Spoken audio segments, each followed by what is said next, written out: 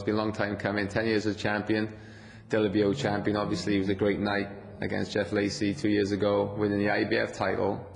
But uh, obviously, Mikkel Kessler, you know, a tremendous fighter, probably the, the best opponent I've faced. So to add the WBC and WBA titles, uh, also as ring champion is, is amazing. You know, 36 in March, and uh, to be finally undisputed champion is, is brilliant.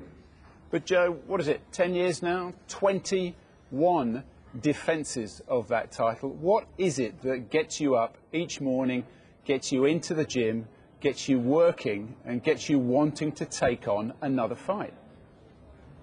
A challenge, you know, just just uh, a big challenge, you know. Um, since the Lacy fight, you know, I've had two fights that I couldn't really get up for, to be honest. You know, I've boxed in 25 years, and uh, it takes a lot to motivate to motivate me these days. So I, I really wanted the Mikkel Kessler fight. This wasn't a fight that was put on to me. It's a fight I've asked for. It's the most difficult fight I could possibly um, get at this time against a, a very strong young champion and um, I wanted to, to show the world what I'm, what I'm all about. And uh, the, the, better the opponent, the better I perform, and I, have showed that throughout my career.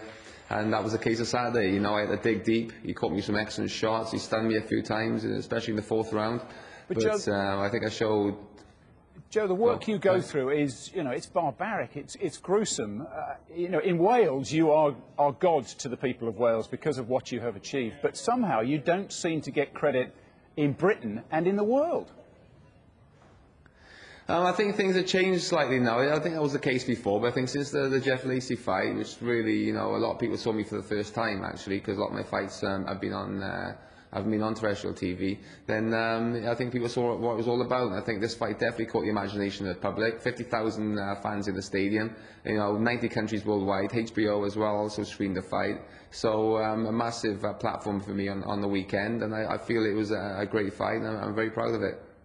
And this morning, Joseph Henry Cooper, OBE, says you should be knighted just like him. And, you know, let's let's see what you've contributed to British sport and what he contributed to British sport. If Sir Henry Cooper says you should be knighted, you kind of get the point, don't you? oh, that's, that's nice, you know, it's nice to be said, you know, but uh, I'm just a fighter, and at the end of the day, all I try to do is um, fight my best when I'm in the ring, and uh, whatever other things outside of boxing is, is very nice when, when somebody says something like that, yeah, of course. Um, Joe, 21 defences. Who on earth is stupid enough after 21 successful defences to climb into a ring with you these days? Where do you go now for the next fight?